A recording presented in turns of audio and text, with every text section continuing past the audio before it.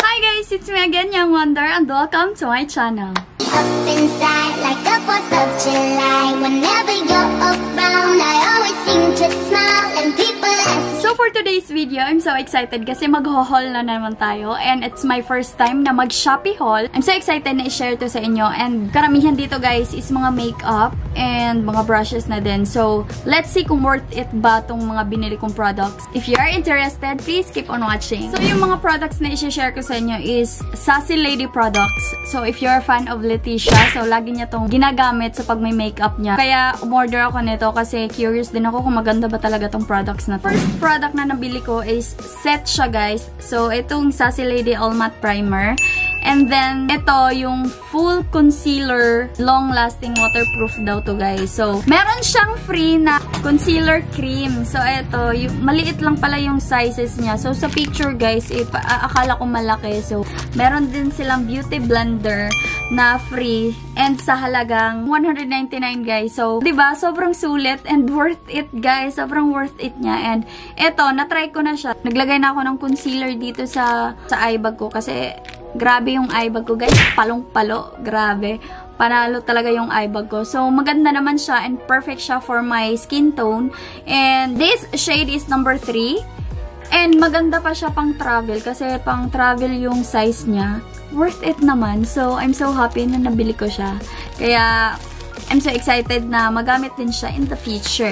Second product na set din sa Sassy Lady is mascara and eyeliner. Ito, lagi talaga tong nakikita ko sa mga video na Leticia. Ito, lagi niyang ginagamit na mascara, guys. So, fan talaga ako ni Leticia. Lagi ako nanonood ng mga video niya. And ito, lagi kong napapansin na mascara na lagi niyang ginagamit.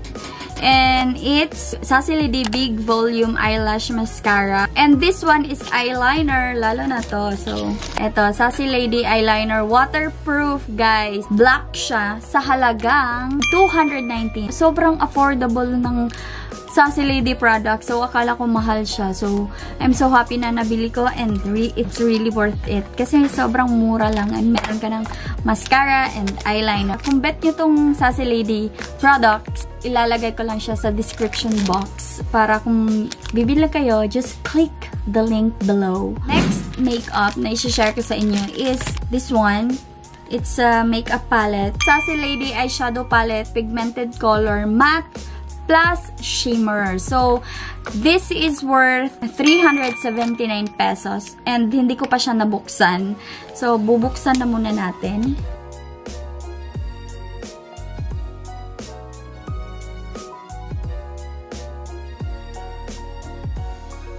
Ito yung mga kulay niya. Wow! So, may cover siya. Ayan. So, oh, ang ganda! Ang ganda niya, guys!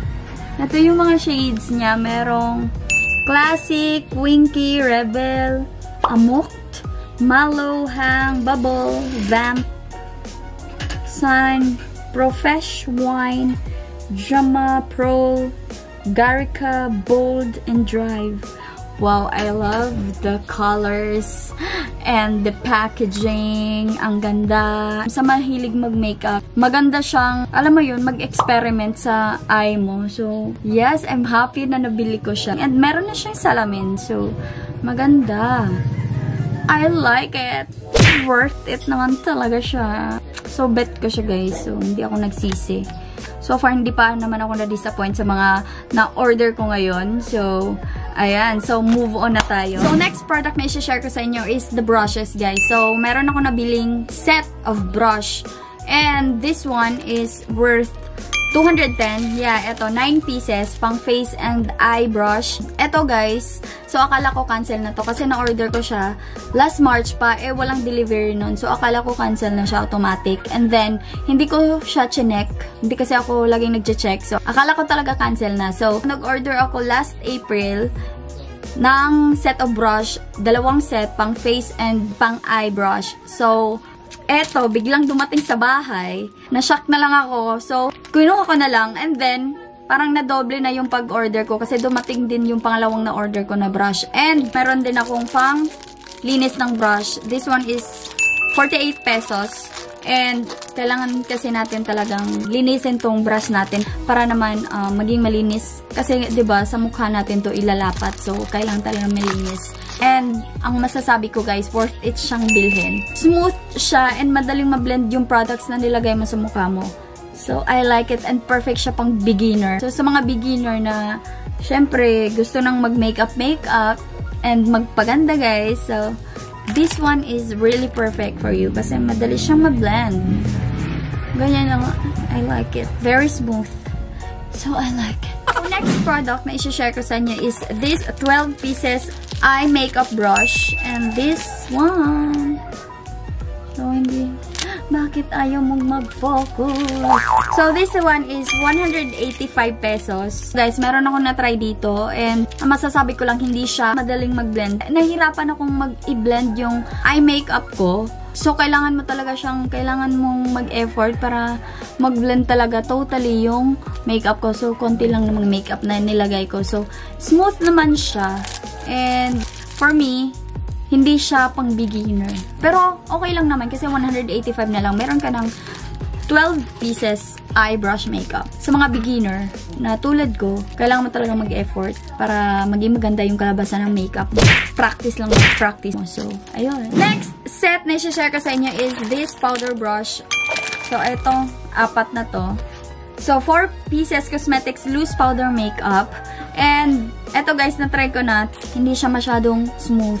Hindi tulad nung unang brush na nabili ko talaga. So, okay lang talaga na dumating din yan. Kasi, medyo comfortable akong gamitin siya kaysa dito sa apat na to. And, ayan. Tingnan nyo.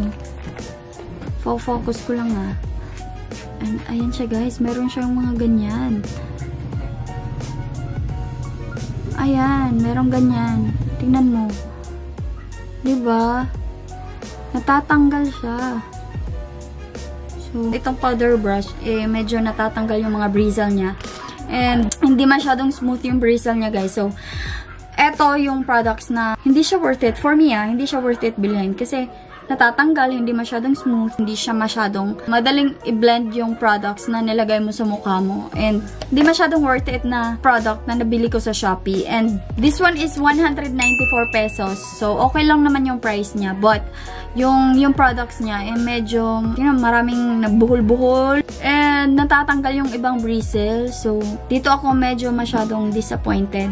So, so far, lahat ng nabili ko sa Shopee, eh, okay naman siya and sobrang happy ko lalo na dito sa makeup palette and itong mga Sassy Lady products. So, yes, that's it for today. Hope you like this video and please don't forget to subscribe my channel and hit the notification bell for more updates and follow me on my social media accounts. And thank you guys for watching and see you in my next vlog. Happy 2K subscribers! Thank you so much for supporting me! Bye!